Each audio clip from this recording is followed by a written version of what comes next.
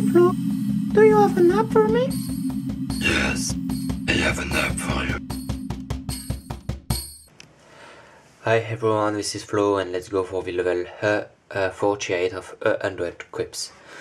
Okay, so on this level you have to count the number of times that each spider just uh, go down between um, they just keep and get small and bigger.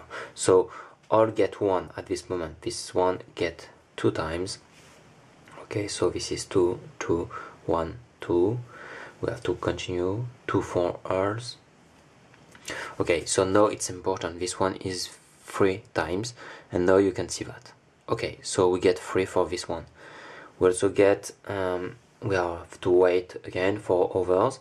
We get three, three, three, and three for this one and okay this one get also the same thing so this is free and free and we have to wait for the two others so we have three this one maybe four.